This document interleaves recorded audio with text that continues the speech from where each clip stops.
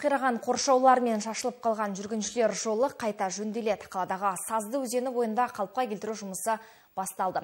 Мұнда мердігер компания бекітілгенше бар жұмысты өзге қызметкерлер атқара тұрады. Әзірге шығын көлемі 80 миллион теңге деп болжанып отыр.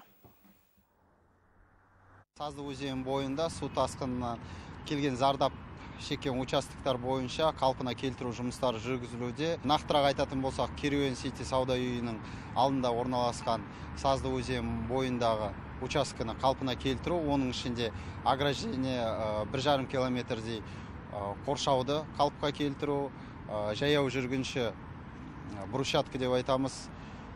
Тоғыз жүз елу квадраттың шамасында брусчатканы қалпына келтіру сосын өзеннің жағасында орналасқан плиткаларды 500-600 квадрат көлемінде қайтадан қалыпқа келтіру жұмыстары қазіргі уақытта басталуда. Уақыттың бәрін санайтын болсақ ол екі айдың шамасында уақыт алады бірақ енді оның бәрін ол уақытқа создыртпай біздер тездетіп оперативді түрде тездетіп жұмыс жүргізетін боламыз.